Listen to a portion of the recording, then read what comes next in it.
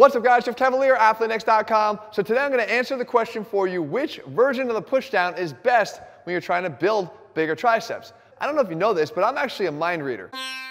And a few times in this video, I'm gonna read your mind exactly of what you're thinking, okay? Let's start. First of all, you're thinking, what the hell is Jeff doing in a tank top? You know you were thinking that. And where can I get that killer tank top? Well, you actually can't get it over at AthleanX.com because we don't have tank tops. We have t-shirts that I cut the sleeves off of to create tank tops. We don't have hoodies. We don't have sweatpants. We don't have shorts. Oh, by the way, speaking of shorts, what we do have is a brand new AthleanX Shorts channel. AthleanX videos in 60 seconds or less. You're going to want to make sure you go over there, check it out, and subscribe. That being said, I digress here, guys. What I want you to do is figure out, though, what pushdown is best for you. And to do that, we all have to be able to do something that we could do right now without having to be in front of a machine to test it out. And let's stand up, and I want you to straighten your arms, palms down, towards the ground, create a hard tricep contraction just like this. Okay, hold it for about two or three seconds. The next thing I want you to do now is take your arms, shake them out, underhand now, palms up, and I want you to bring your arms down and contract your triceps as hard as possible. So now I'm going to mind read again because I know what's going on in your head right now. What you're thinking is, why the hell did I stop doing the underhand grip pushdown? Because I feel that a lot more than I do the overhand grip. And there's actually a reason for it. And I actually know what else is going through your mind. Here's the third time. You're actually thinking to yourself, I stopped doing this because I was told that anatomically it doesn't even matter whether I'm in pronation or supination. That doesn't impact the triceps. How am I doing on, on these mind reading things right now, guys? Probably pretty good.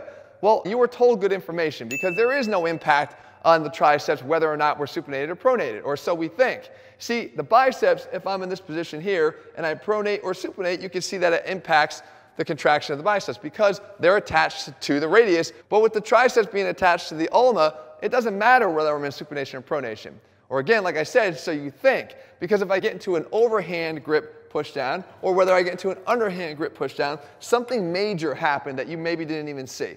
If I get here and I were to go into isolated pronation, or isolated supination, then yeah, that doesn't impact the tricep at all. But we don't do things that way. We're a kinetic chain. What we do is we move more than just the forearm when we do supination and pronation.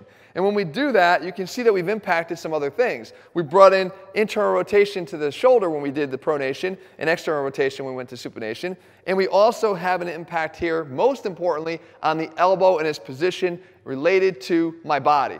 If we keep our elbow tucked nice and tight and our arm back, we're going to get the long head of the tricep. That big meaty area in the back here, the one responsible for the most size, we're going to get a better full contraction on that head of the tricep as opposed to when our arm's out in front of our body and the elbow is drifting.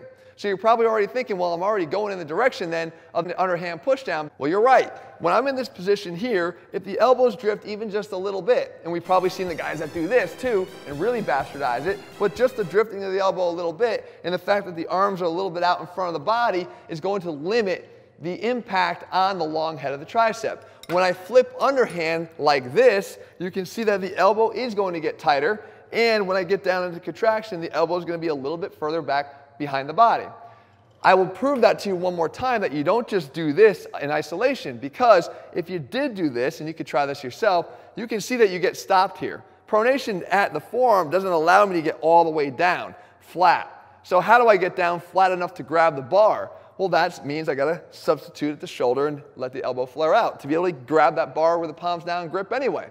So if there is a limitation to the underhand push down, it's the fact that this can still be a little bit demanding on the wrist with the underhand grip. So what you do is you simply take away the straight bar and you just attach two single handles. And before you start saying, I'm going to read your mind one more time, but Jeff, I don't have a push down machine. How could I do this? Well, you attach two bands to a pull up bar and you grab hold of a band in each hand just like that. Or if you're doing this at a gym on a cable machine, you grab the left handle with the right arm and the right handle with the left arm. And then we get into this position here where we open up and we press down and back. Okay, now this is gonna bring in that second point. When you were saying to yourself, I can't lift a lot of weight on the, on the underhand version, and therefore I shouldn't do it because I'm not stressing the triceps as much as I can. Well, guess what? The reason why you can't do as much weight there is because the overhand version of the tricep pushdown is incorporating a lot of other muscles to the task. When I get in this position here, I've got the chest contributing, I've got the shoulders contributing, and I've got the abs contributing to that movement. We don't want that if we're really trying to hypertrophy the triceps.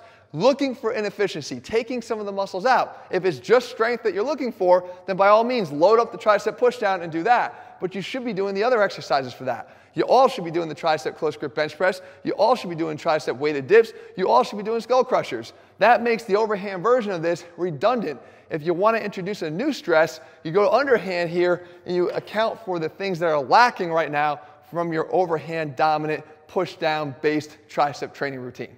So guys, I hope you found the video helpful. If you haven't already done so, guys, make sure you click subscribe, not just to this channel, but to the AthleanX Shorts channel as well. Remember, AthleanX videos in 60 seconds or less.